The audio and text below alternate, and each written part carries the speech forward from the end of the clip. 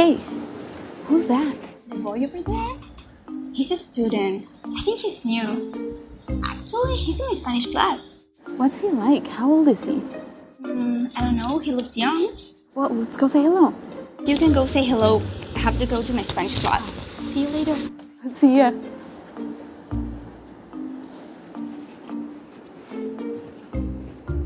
Um, good morning. May I? Yeah, of course. I'm Anna. What's your name? I'm Victor. Nice to meet you, Anna. Are you a student here too? Ah, yes, I am. It's nice to meet you too. Are you new here? Yes, I am. Where are you from? I'm from Mexico City. Where are you studying? I'm studying English literature. And what about you? I'm studying audio engineering. How old are you? I'm 23. What about you? I'm 18. Uh, where do you live? I live right around the corner. Do you want to come? Oh, yeah, of course. Let's go. And when's your next class? Oh, it's uh, about 20 minutes from now. It's actual Spanish class. With Ashley? Yeah, she's your friend, right? Oh, yeah. Have you girls been friends for a long time? Oh, since we were kids. Oh, that's really nice. Have you ever met someone new that you didn't know what or how to ask them something?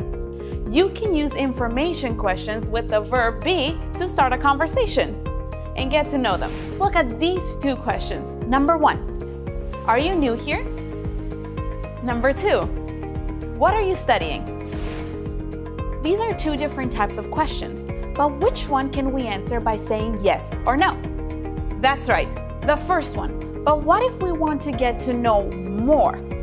That's what we use information questions for.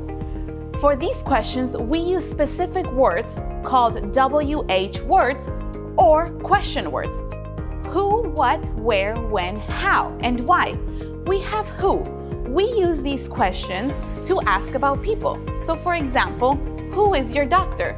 Then we have what, which we use to talk about objects or things. So, for example, what is your sister's name?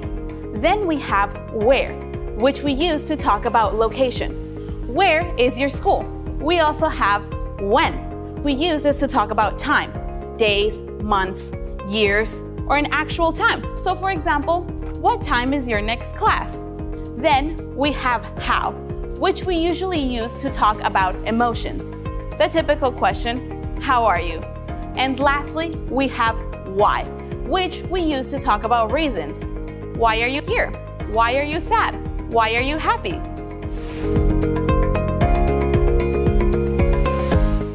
Let's go over the pronunciation of these words. All right? Listen and repeat after me. Who? Who? Who? What?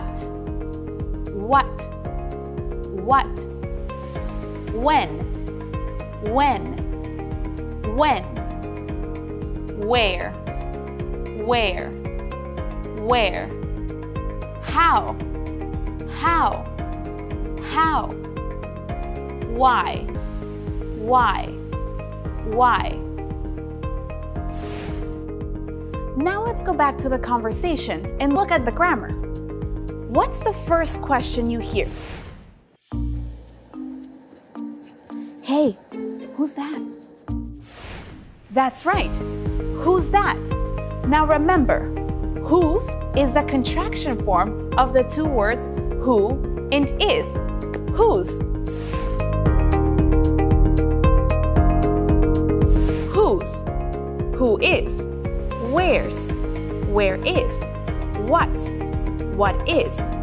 I'm. I am. He's. He is. She's. She is. It's. It is. You're.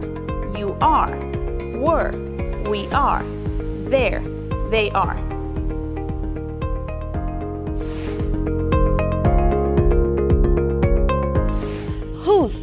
This is a question about people. She wants to meet this person. And what did her friend say?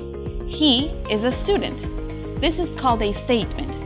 It's a positive statement. Now let's break this statement down into smaller pieces. He is the subject of the sentence. Then we have is, which is the verb to be. And then we have student, which is what we called the complement, the rest of the sentence. So we have subject plus the verb to be plus the complement. Now, what happens when we want to ask a question? We have the statement, he's a student. So, what we have to do is we have to switch the subject and the auxiliary verb to be.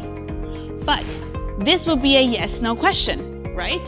If we switch, he is a student, we have is he a student? But we are looking at information questions, which means we have to add the WH word at the beginning. We have the WH word plus the auxiliary verb to be plus the subject plus the complement plus the question mark. For the answer, we usually answer like this subject plus the auxiliary verb to be plus the complement. Let's look at an example. Where are you from? I am from Mexico. Now let's do a short exercise. I want you to draw this chart in your notebook or a piece of paper.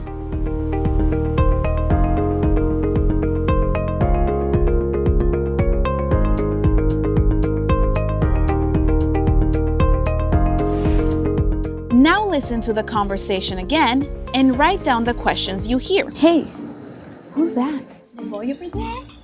He's a student. I think he's new. Actually, he's in my Spanish class. What's he like? How old is he? Mm, I don't know, he looks young. Well, let's go say hello. You can go say hello. I have to go to my Spanish class. See you later. See ya.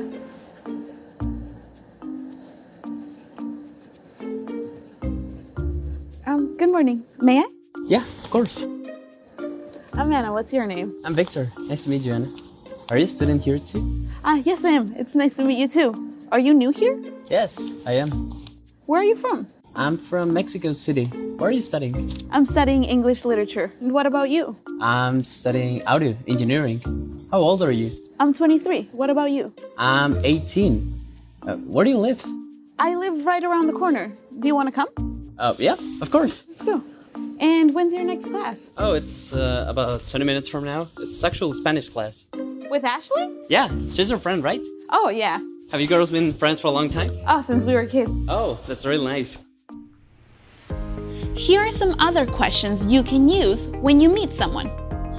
What's your name? How old are you? What's the weather like? Where do you go to school? When do you go to school? When's lunchtime? Now you're ready to go and meet new people. Come on, let's go meet someone.